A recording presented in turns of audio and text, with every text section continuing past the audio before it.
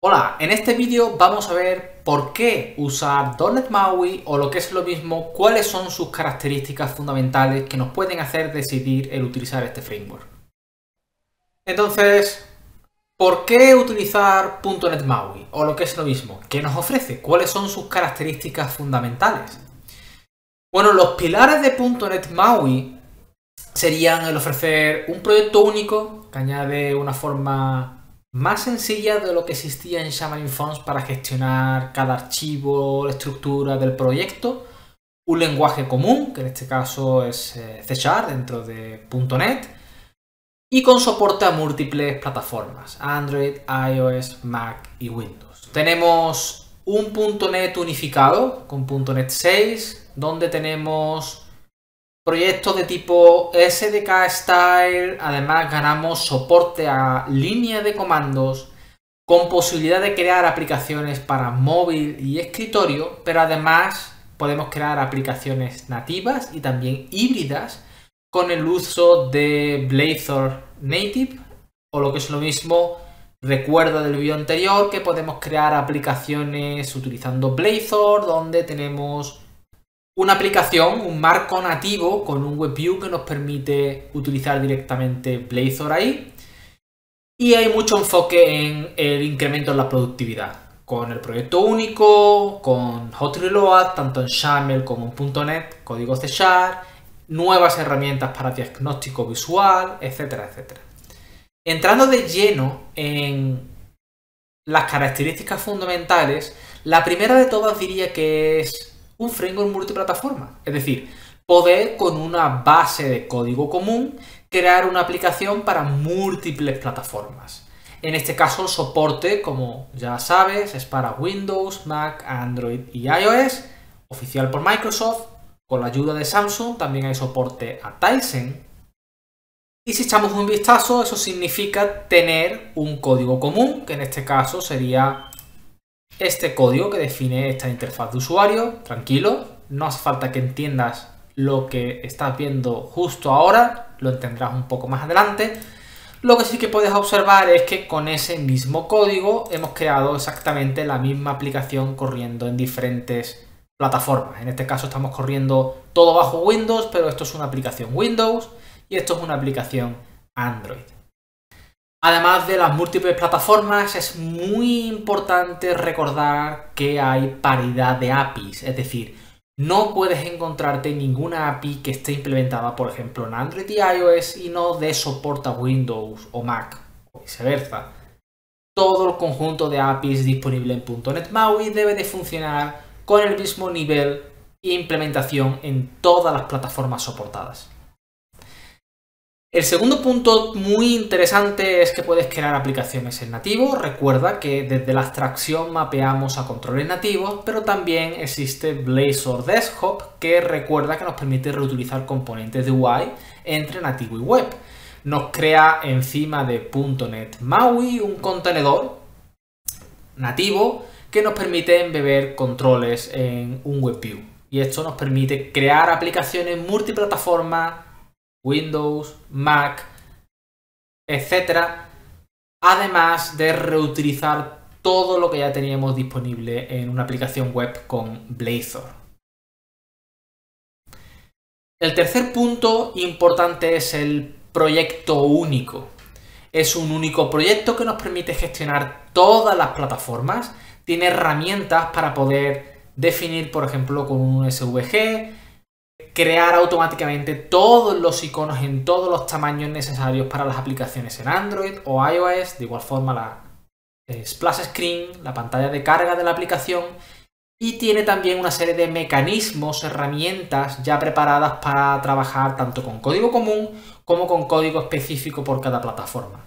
Por ejemplo, la carpeta Platforms, donde encontramos carpetas Android, iOS, Mac Catalyst y Windows, es el lugar donde, por ejemplo, dentro de la carpeta iOS podemos crear una clase, definir, por ejemplo, un control que solo se va a definir, crear en iOS. No se va a compilar, no se va a incluir en el resto de plataformas. Esto es un proyecto .NET MAUI, como puedes observar, solo hay un único proyecto y si echamos un vistazo al proyecto único, utilizamos la etiqueta useMaui que ya nos incluye por defecto todo el conjunto de mecanismos necesarios para trabajar con MAUI. Internamente, si te lo estás preguntando, hace uso, por ejemplo, de multitargeting para permitir definir los diferentes targets, las diferentes plataformas a las que vamos a hacer uso. Pero además ofrece una zona común para gestionar versiones de la aplicación, nombre de la aplicación, etc.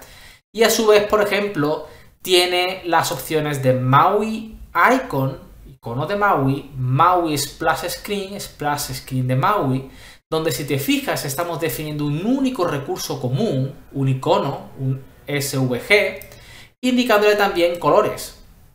De esta forma nos permite definir el color de fondo, etcétera, etcétera, tamaños, en base al color de fondo que queremos utilizar en la Splash Screen pero creará todas las splash screen en todos los tamaños correspondientes utilizando ese color de fondo y la imagen que hemos dado en el SVG. Una opción muy interesante que creo que puede ahorrar una gran cantidad de tiempo y de conocimientos necesarios para definir todo esto con respecto a, por ejemplo, nativo o lo que existía en Xamarin Forms, donde había un proyecto diferente por cada plataforma soportada y teníamos diferentes carpetas con diferentes tipos de archivos, nomenclaturas para definir los iconos en cada uno de los tamaños correspondientes. Otro punto muy, muy, muy importante es Hot Reload. Hot Reload lo que nos permite es iterar de una forma más rápida que la habitual. La habitual de estoy trabajando en mi aplicación, aplico una serie de cambios, compilo, espero que compile, despliego la aplicación en el emulador, simulador, dispositivo, etcétera, verifico los cambios y vuelta a empezar. Para evitar ese tiempo de espera de compilación, etcétera, Hot Reload hace los cambios al vuelo, sin requerir el debugger, el depurador, permitiendo hacer cambios tanto en XAML como en código C en todas las plataformas soportadas. Si echamos un vistazo, por ejemplo, tenemos esta aplicación aquí corriendo, si nos vamos, por ejemplo, al botón, podemos indicar que el color de fondo va a ser ahora rojo. Si hacemos los cambios, vemos que directamente al vuelo, sin pausar la compilación, el botón ha cambiado de color. Esto acelera enormemente la productividad. En lugar de cambio el color a amarillo, ejecuto la aplicación, Ahora está el proceso de compilación. Esperamos. Esperamos. Esperamos.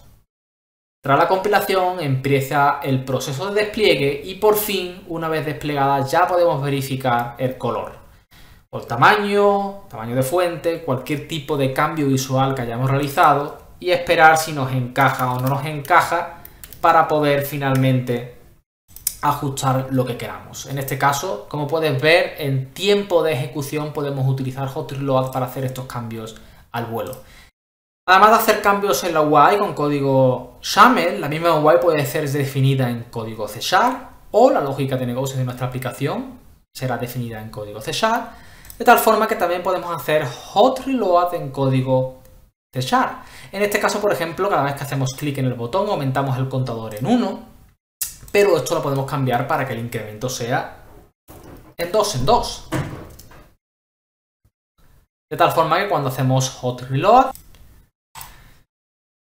el estado se mantiene, nuestro contador sigue estando en 4, pero ahora al hacer clic aumentamos de 2 en 2 en lugar de 1 en 1. Esto es extremadamente útil, tanto si definimos nuestra interfaz de usuario en C en lugar de en código XAML, algo también perfectamente posible, como si modificamos la lógica de negocio de nuestra aplicación. Imagínate, por ejemplo, estar haciendo una aplicación del tiempo donde utilizamos un endpoint, una API, REST, estamos haciendo pruebas entre diferentes entornos, desarrollo, release, y poder cambiar directamente, hacer pruebas de un entorno a otro sin necesidad de recompilar o hacer pruebas de este tipo es sumamente útil.